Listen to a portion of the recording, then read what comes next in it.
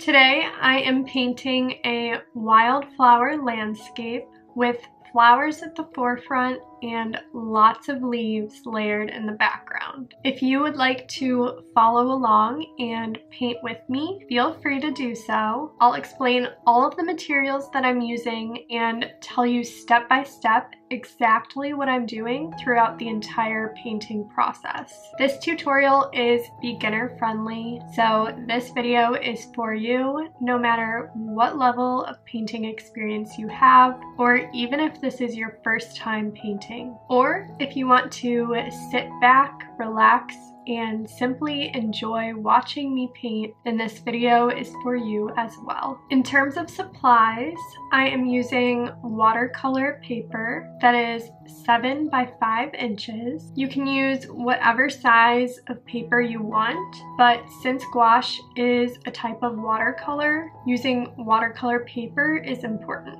The paper needs to be thick enough that it will be able to hold the water from the paint. I taped the paper down to my desk with washi tape. You want to make sure that your washi tape is placed down evenly and not crooked at all before pressing it down against the paper because however your washi tape is placed, that is what the border of your finished painting will look like. You can also change how thick or thin the border of your painting will be by covering more or less of the paper with washi tape. So if I wanted a thicker border, I could have used a thicker washi tape so that more of the paper was covered. In addition to giving your painting a nice clean border when you remove the tape at the end. Taping down the page with washi tape is helpful for holding the paper in place so that it's not moving around while you're painting. You also want to be careful with the type of tape that you're using. When removing the tape from your finished painting, you don't want it to tear the paper. I haven't had an issue with that using washi tape, but if you use a more adhesive tape instead, you could have an issue with the paper tearing when you remove it. In terms of paint, I'm using the Himi gouache paint set that comes in 18 colors. If you're new to gouache, this is a very good beginner paint set because it comes with a lot of colors, it's great quality, and it's relatively inexpensive. I got mine from Amazon for only $24. I'll link it in the description of this video in case you want to get it yourself. For this painting, I I mixed my colors in a separate paint palette, but the Himi gouache paint set that I mentioned actually comes with a flat paint palette that would also work. A few other supplies you'll need are a cup of water to rinse your brushes off between colors and a rag or a paper towel. You'll use that to dry your brushes off and make sure none of the paint is left on there before using your brush with a new paint color. That way you avoid mixing any paint colors that you don't want to. Lastly, I'm using a variety of paint brushes. There's not one specific brand of paint brushes that I use, but it is good to have an assortment of different sizes as well as a mix of round brushes and flat brushes because all of those will create different types of paint strokes. Using a round brush will look more natural when you're painting details because it's easy to vary how thick or thin each paint stroke is is. On the other hand, a flat brush is good for painting straight lines and filling in the larger areas of your painting. Now that all of my supplies are set up, I am painting the base layer of the wildflower landscape. I mixed one of the green colors from the paint set with a bit of black to create a darker green color for the base. I'm using a large flat brush to cover the entire page with that color. With gouache, the more water that you add, the thinner the paint will be. I used less water at the bottom of the painting because I want it to be a bit darker there than at the top. Don't worry too much about the base color looking perfect. I know it looks a bit streaky right now, but I'll be covering the page with so many flowers and layers of leaves that you won't be able to tell in the finished painting. For this type of painting, where most of it will be covered up, it's really not necessary to spend too much time on making the base layer perfect. Now that the page is all covered in a dark green base layer of paint, I'm starting to paint the flowers.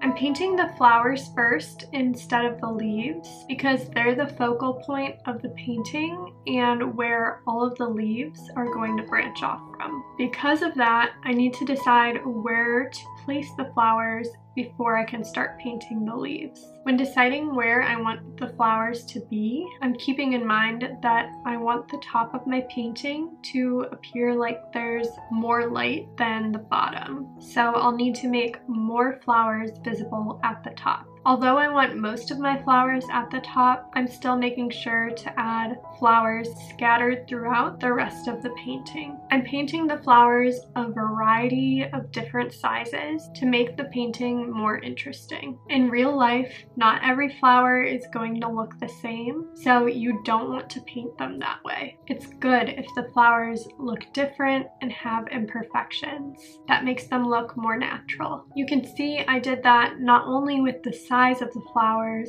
but also with each of the petals. Instead of making each petal perfect and round, I decided to give the petals rougher edges to create the appearance of a bunch of different petals layered on top of each other. I chose to paint my flowers white to really make them pop against the green background, but you could paint them whatever color you want. I will add more white paint on top of each of the flowers later so that they don't look as patchy, but I do want the flowers to dry first so that it will be easier to add more thick paint. In the meantime, I'm moving on to painting the leaves.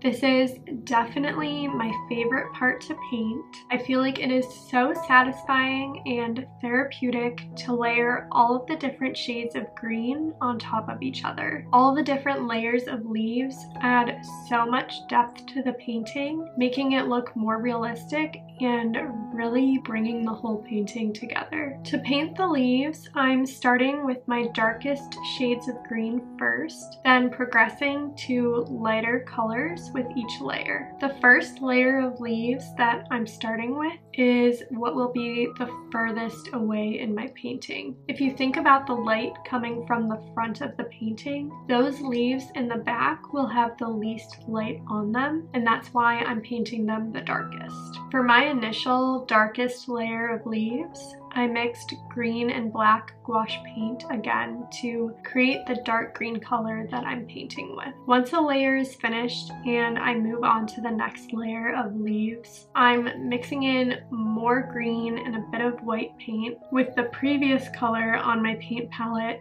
to make the color noticeably lighter with each new layer of leaves. I'm repeating that process with different shades of green five times. While painting the leaves, it's important to consider that they're stemming from the flowers as their center rather than randomly painting them across the page. Also, going back to thinking about light, I mentioned when painting the flowers that I want the top of my painting to appear like there's more light than at the bottom. Because of that, I'm primarily only painting darker layers of leaves at the bottom, whereas the top of my painting also has lighter layers of leaves.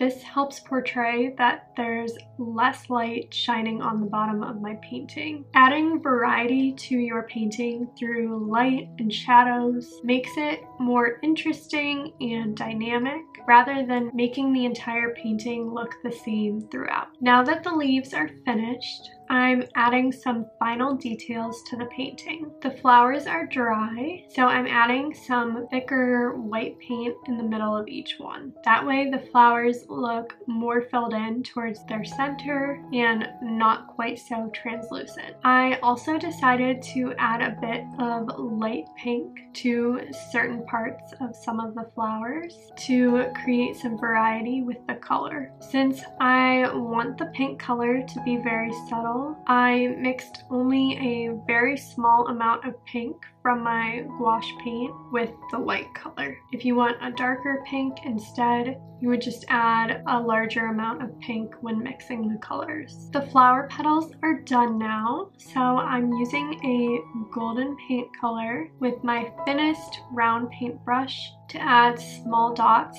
as details in the center of each flower. To finish off my painting and tie it all together, I decided to add that same gold color to the leaves as well. With the final layer of leaves finished, my painting is complete.